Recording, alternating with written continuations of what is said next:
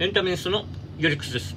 今回紹介するのはですね、え1995年の日本のアニメ映画メモリーズというですね、この作品、えー、総監督はですね、えー、アキラで有名な大友克洋さんでございます。で、あの、このメモリーズっていう作品はですね、あの、3本からなるあのオムニバス形式の、えー、作品なんですね。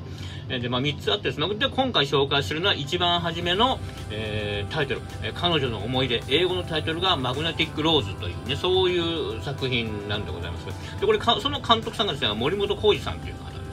で。ちなみにこの脚本とかですね、設定をやってらっしゃる方が、今野聡さん。有名な方ですね。もうあの、早くして亡くなられたんですけども、えー、パーフェクトブルーとか東京ゴッドファーザーズとかですね、パプリカとかそういう非常に素晴らしい外国映画にも、え、影響を与えた作品をね、撮られた方なんですけども、その方がですね、脚本とかを書いていらっしゃる。だからもう、素晴らしいスタッフが集まって、えー、作られた。もこの1話目ですね、彼女の思い出、マグネティックローズ。まあ、これをですね、あの今回ちょっと紹介していきたいと思います。はい、それではですね、早速、まずね、こう、あらすじと一緒に合わせながら、まあ、いろいろ紹介していきたいと思います。まあ、これどういうやつかって言ったらですね、えまずこれ主人公、もうこれもう遠い未来ですね、えー、宇宙ですね。こうやって主人公たちがなんかこう作業してるんです。えそこですね、救難信号がこう来るわけなんですよ。それがですね、えっ、ー、と、ラーラララララララっていうあの、マダムバタフライですね、蝶々夫人の曲になに合わせてその救難信号が来るわけなんですよ。でもこれ早速これ救出しなきゃいけないってことですね。で、えー、救出隊が結成されてですね、この2人で行くんです。これね、はい、ハインツとミゲルっていうこの2人が救出に行くことになります。で、2人がですね、えー、宇宙、宇宙艇に乗って、で、こうやってね、行くんですけども、これものすごいなんかもうガラクタを集めたようなやつなんですけども、これものすごいもう広大な巨大ななんかこう、宇宙船というかですね、なんていうんですか、もうでっかい塊がもう鉄の塊みたいなところがあるんですね。そこをずっと行って。で、中に入るわけなんですけども、もう中はですね、どうなるかって言ったら、こういうね、すごいこう、えー、中世ヨーロッパの宮殿みたいなね、そういうもう広大な空間が広がってるわけなんですね。はい。そしてその中の一室、えー、まあ一応救難信号ずっとこうね、こう探しながら行くんですけども、えー、ハインツがですね、えー、暗い部屋を開けてこうやって探してるとですね一個こうポンとこう光がついてるところの明かりがこう灯されてる机があってですねそこにですねこういう感じで人形がねあってそれがこうゼンマイで巻かれてそれがくるくるくるくる回ってるんですねこの女の子の人形が。でくるくるくるくる回ってくるくるくるくるくるくるくるときながらですねこのテーブルのテーブルの端っこの方に来るんですね。で落ちそうになるんです。それで危ないっつってハインツがですねこれああって行くんだけどもガチャンと落ちてしまうんですね。でハインツがこれ衝撃受けるわけです。ああと。なるんでね。受けてああと。はいこれでエンタメポイント。これ今ねハインツあの衝撃を受けたわけなんですが、まあ、その原因はまあネタバレになるからそれやめますけども。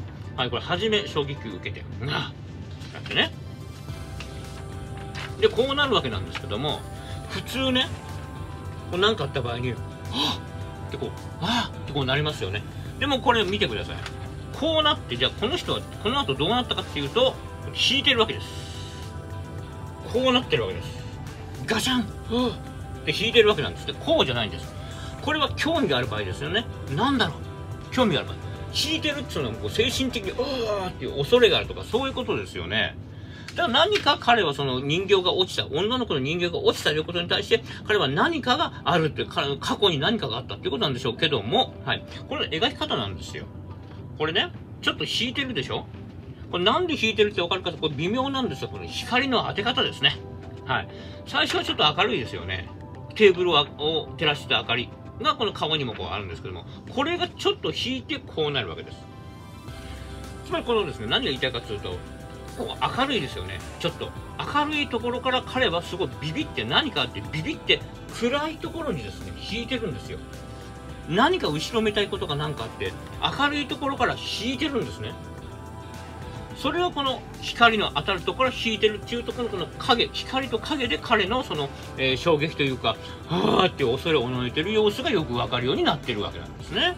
で一方のミゲルはどうかってやっぱこう暗い部屋があってですねそれをこう見るとですねはっって見るとミゲルがいて向こうを見るとなんか貴族のね、格好した人たちがたくさんいるんですけど、で、向こうにですね、向こうのそばに、えー、男性がいますけども、一人、えー、バラの花束を抱えた女性がいるんですね、美人さんが。で、しばらくすると、このえー、女性を除いて全員がふーって消えてしまうんです。で、女性が立ち上がります。バラの花束を持って。そしてこの女性はバラの花束をこの手前にあるこのテーブルに置くんですね。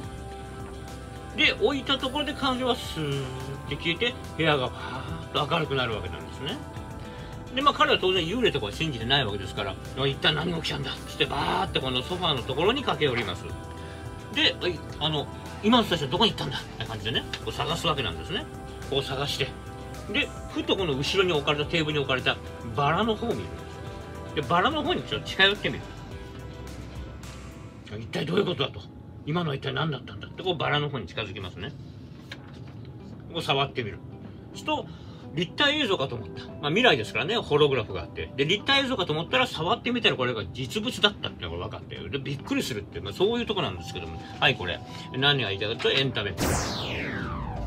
これね、バラがあって、そこに近づくんでしたらですね、ここにバラがあってですよ。こうやって。で、こう普通行くんですよ、バラ。こうやってやるはず。ところがこれはですね、バラがあるのがまず見えないわけです。こう。で、近づいて手を伸ばしたところでバラが落ちるわけですね。これどういうことかっていうと、最初の方にもバラが映っちゃうと、あの、見てても何もこう、興味湧かないですね。彼が近づくことで、その先に何があるんだろうもちろんバラがあるんだけども、どういうバラがあるんだろうってこう見てる人はその興味を持つわけです。よりこう視線が引きつけられるわけなんですよ。ですから初めは最初はバラを見せない。で、彼の動きに合わせて、えー、手の動きに合わせてカメラがずっと下に下がっていくと、バラが出てくると。で、ここでバーンって現れて、見てる側がその完全にバラにこう視線が集中するって、そういう描き方になってるんですね。で、ここにですね、ハインツがやってきます。で、ハインツと2人で話してですね、今の一体何だったの？みたいな話をするんですが、で、その後よく見るとですね、さっきやったバラ、これがですね、枯れてるんですよ。いつの間にやら。パッとこう枯れてたんですね。ということで、エンタメポイント。これ枯れたバラなんですが、これちょっとまあ、描き方がちょっと面白いですね。普通であればこれね、これ、ここを見せたいわけですよ、こう枯れたバラを。まあ、枯れたバラはここ見てもわかんないですね。やっぱここ見てわかりますよね。だから普通だったら、そのバラを見せるんだったら、当然ここに照明を当てるはずなんですよ。ところが実際はどうですか？ここです。こっちに光が当てれますね。こっちは影になってますね。はい。だから、この枯れたバラがですね、こう華やかな感じではなくて、いかにも枯れたっていう感じがこの照明を逆に当てない。こっちを影にすることによって、よりこのバラのいかにもこう枯れてだらっとしたっていう感じがですね、この照明を逆に当てない。影にするっていうことによって、この枯れたのをより強調してるっていう描き方になってるわけなんです。で、次二人はですね、じゃあ、あの、別れてこっちをもっと探そうぜと。まだこう救難シーンがありますからね。はい、こういう、こういう感じで。えー、ミゲルは上の方に行きます。で、ハインツは下の方に行きます。ということで、えー、まあ、天国と地獄というかですね、えー、っと、ミゲルの方はですね、これからまた不思議な体験をする、まあ、この両方ですね、ハインツもそうな不思議な体験をするんですが、ミゲルの方はですね、こうなんか楽しい感じの、えー、ことを体験するんです。不思議で楽しいような感じの体験をするんです。で、ハインツの方はここから苦しい昔の過去のことを思い出させるような辛い過去のようなものをですね、えー、彼はこれから体験することになるんです。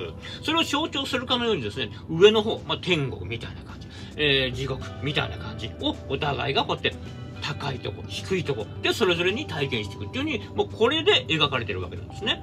そして両方ともこの暗いところ、暗いところにここから2人は入っていくという。楽しいは楽しいんだけども暗いところに入っていくという。そういうね象徴的な。もちろん向こうに明かりがついてもいいじゃないですか。でもこっから2人が進む先には明かりがついていない。一体何があるんだろう。ってもこう思わせますよね。はいそういうでございます。でここ行くんですけどもハインツはねここ下を下の方に行くんですけどもこういう感じで行くんですけどもはいエンタメポン。これ。ここ何やってるかって言ったらですね、まあ、こう銃にこのライトがついてるんですね。それを彼がこの、ここから階段を降りるときにこうちょっとカチカチってなってつけるわけなんですけども、これカチカチっていう風にこうつけるのは全然ストーリーに関係ないわけなんですよ。単にこう、つくかどうかっていうのを確認してるだけなんです。で、これ実は非常に大きいんです。どういうことかっていうとですね、これアニメじゃないですか。アニメっていうのはこう架空ですよね。もちろん映画そもそも、あの、ドキュメンタリーを除くと全部架空の物語ですよね。これ実写も何もかも。特にアニメですから、これいかにも作られたものなんですよ。それをね、途中でこうやってカチカチっていう技をする必要ないことを入れることによって、そのアニメがよりリアルな感じに感じるってことなんですよ。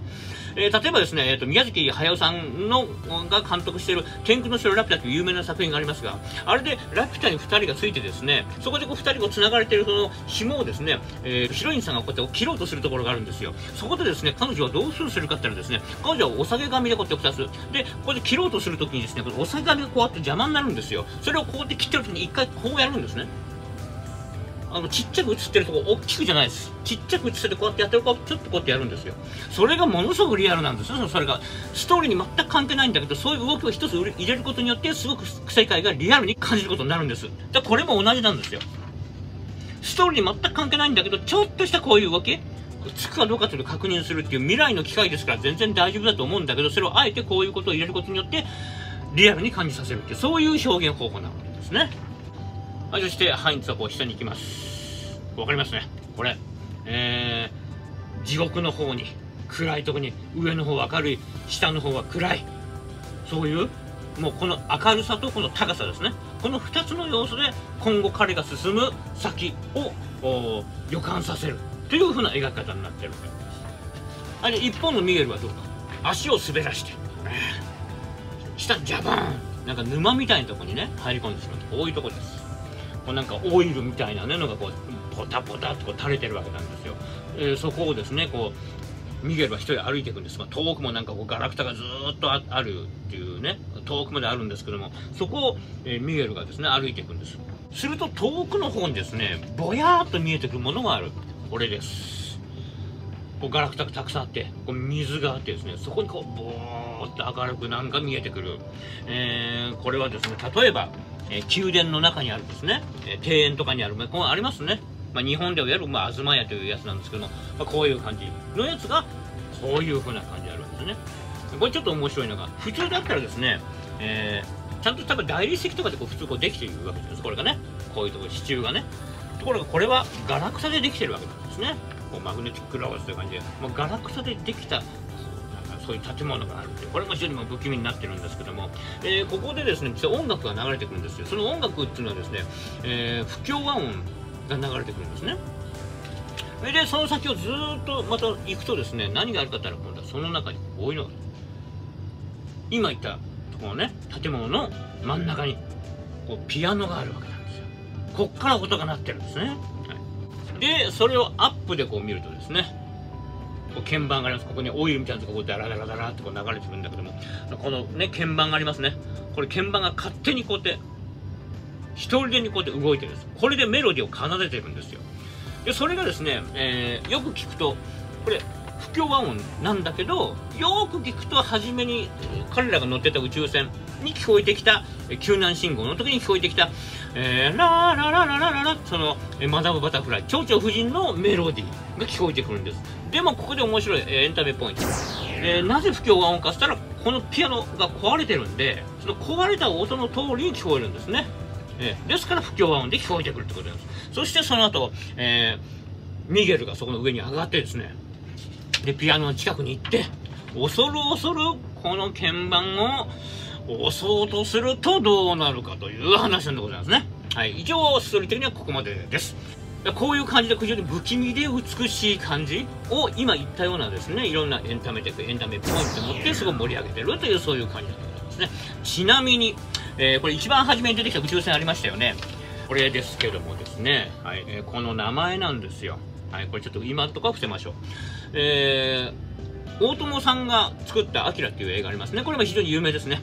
あの、アキラっていう作品の中に出てくる、えっ、ー、と、2021年の東京オリンピックが予言されている。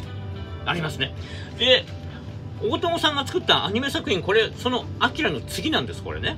自作品がこれなんですよ。えー、メロ、メモリーズ。で、この1作目の最初に出てくるこの宇宙船。これの名前がコロナなんですよね、これ。で、これちょっとホラー的なね、作品。で、これはこれももちろん偶然なんですけどね。まあちょっとそういうこともあったという話でございます。というような感じで、まあ今回はちょっと時間になりましたので、また今度やりたいと思います。それではありがとうございました。